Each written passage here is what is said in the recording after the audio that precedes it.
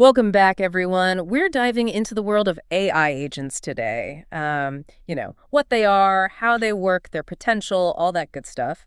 And our main source for this deep dive, it's a July 2024 IBM article titled, What Are AI Agents? You know, I think when a lot of people hear AI agent, they think, oh, it's just a chatbot, right? But it's actually a lot more than that. It's way more, yeah. It's like, if you think about it, like the difference between ordering a pizza online and then planning a whole vacation. Yeah. Ordering the pizza, that's simple, right? Yeah. But planning a vacation, you've got research, you've got to coordinate flights, hotels, you know, all these moving parts. And that's really where these AI agents come in and that's where they excel. Exactly. They can actually access and use all these external tools like databases and even other AI agents mm. to get these really complex goals done. And they don't just do it randomly. They break these goals down into smaller steps. You know, figure out the best way to do each step and then actually take action. So, like, let's say I want to plan a surfing vacation to Greece. Could an AI agent, like, research the best surfing spots for me? Maybe even check the weather conditions and suggest the ideal week to go based on, like, wave forecasts. Yeah, exactly. And all while you're just relaxing, sipping on your coffee. It's all about offloading those multi-step tasks, you know? To a system that can learn and adapt. Exactly. Now, the IBM article mentioned these three stages that the AI agent actually goes through.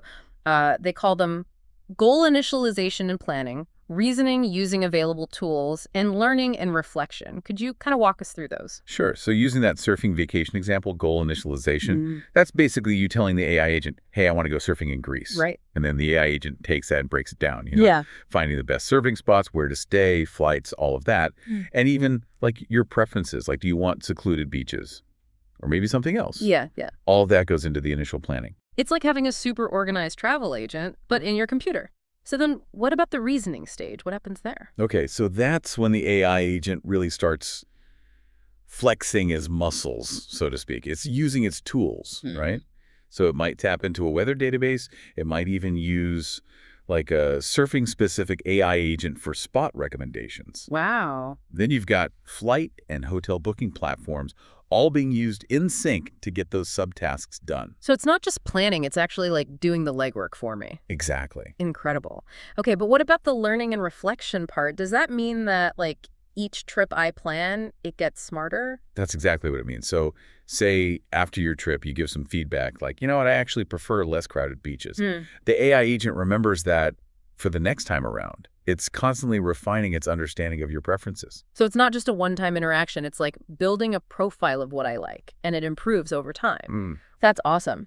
Now, the IBM article also talked about different types of AI agents. So, I mean, it's not all super-powered vacation planners, is it? No, not at all. There's actually a whole spectrum of AI agents out there, varying in complexity.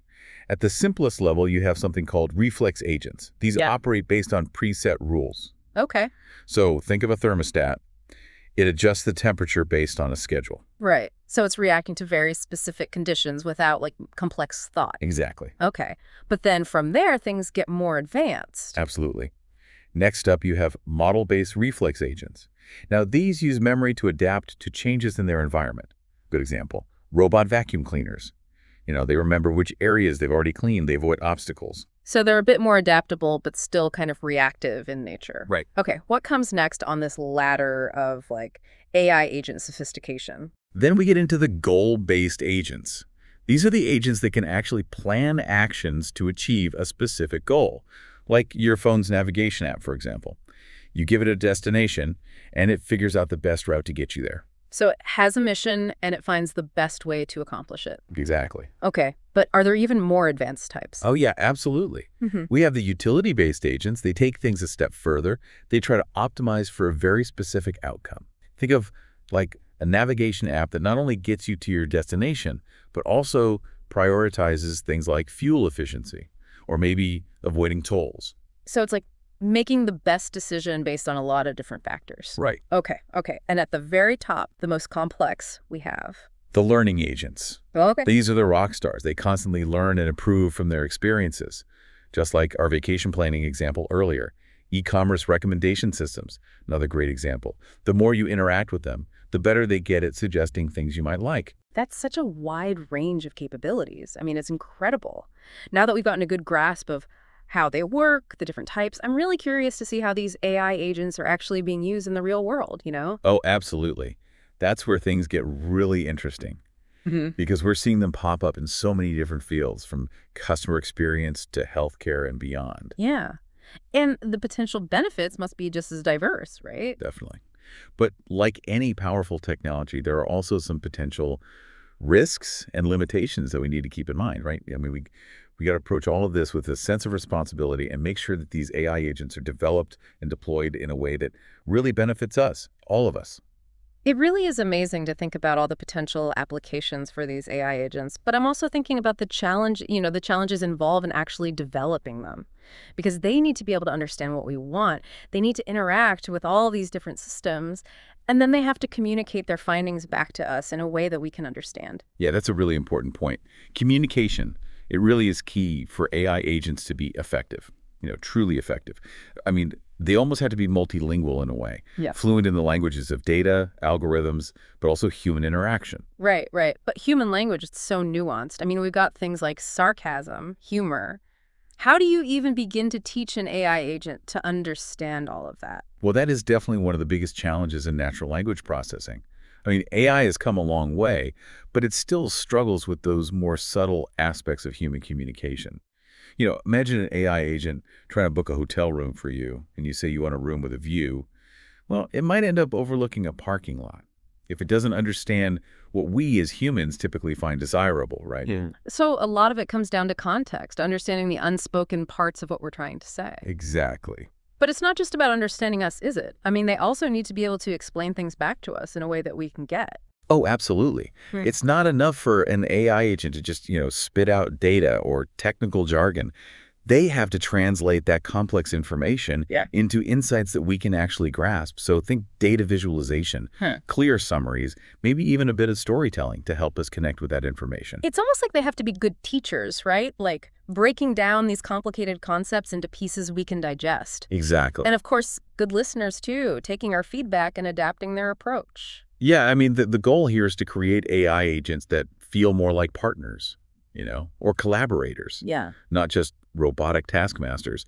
They need to be able to engage in a real dialogue. Yeah. Understand our needs, adjust their communication style. This makes me think about the future of work, you know? Hmm. If AI agents become really good at communication, how might that change the way we interact with technology in the workplace? Oh, that's a great question. I mean, imagine a world where AI agents act as these intermediaries between us and complex systems. So they could take technical jargon, translate it into plain language, summarize insights from tons of data, you know, even help us collaborate better across teams. So instead of spending hours, you know, digging through reports, we could have an AI agent that just gives us the key takeaways and suggests actions to take. Exactly. Freeing us up to focus on, you know, more strategic tasks. Right. It's all about using AI to augment our capabilities, mm. create a more efficient and productive work environment. That would be amazing. But of course, we have to be mindful of the potential downsides too, right? Yeah. And make sure that AI agents are developed and used responsibly. Absolutely. I mean, things like making sure that they don't reinforce existing biases. Yeah. Or create new ones based on the data they're trained on. You know, it's important to think about all the ethical implications as this technology keeps advancing. It's not just about what they can do, but what they should do. Exactly. We need to make sure they're aligned with human values and used for the benefit of society, all of society. This deep dive, it's already given me so much to think about. I mean, it seems like AI agents have this incredible potential to revolutionize the way we interact with technology, but we need to be thoughtful, deliberate about how we go about developing and deploying them. I totally agree. It's exciting to be working in this field, you know, Mm. but it's also a time for really careful consideration and ethical reflection. And speaking of exciting developments, I'm really eager to hear more about those real-world applications that we talked about earlier.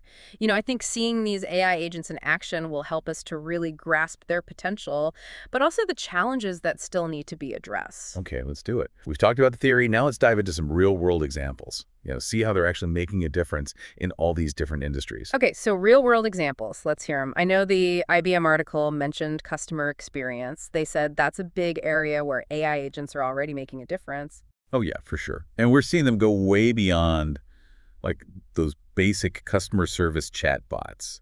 Yeah, the ones right. The ones you see on websites sometimes. Oh, yeah. AI agents are now being used to create these like much more personalized and engaging customer experiences. Can you give us an example of what that might actually look like in practice? Okay, so picture this. You've got a virtual assistant. Yeah.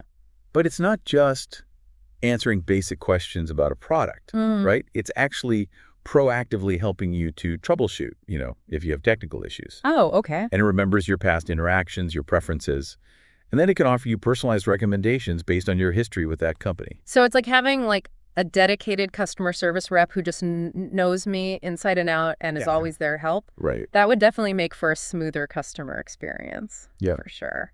What other applications are we seeing in this like customer facing kind of space? What we're seeing them being used to provide mental health support, believe it or not. So they can offer like personalized coping mechanisms, mm. track mood patterns, even connect users with, you know, human therapists if needed. That's amazing. It could make mental health resources way more accessible to a lot of people, you know, people who maybe can't afford therapy or just don't have the time. Exactly.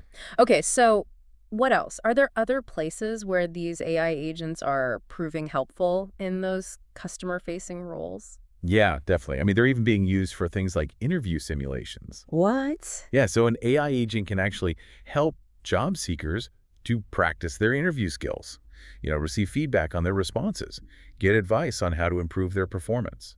That's wild. It's like having a personal interview coach right in your pocket. Right. Okay, so we've seen how they can really enhance customer experiences, but what about other industries?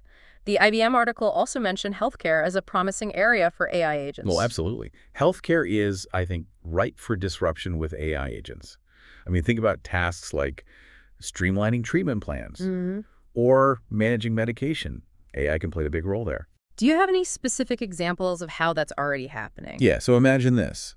You have an AI agent that can analyze a patient's medical history, identify potential drug interactions, and then help to generate a personalized treatment plan tailored to their specific needs and preferences.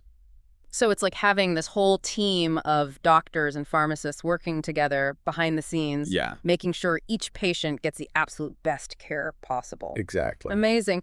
What other ways are we seeing AI agents used in healthcare? Well, they can also help patients manage their medication schedules.